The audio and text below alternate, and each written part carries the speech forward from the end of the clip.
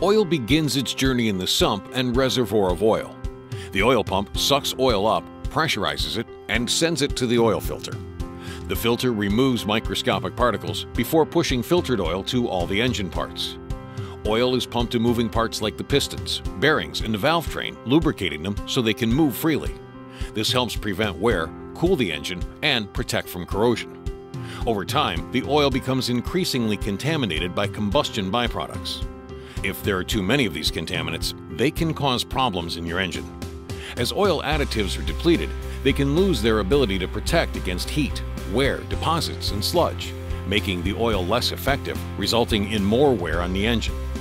When the oil filter gets full, the dirty oil bypasses the filter and the solid contaminants are left to circulate through your engine.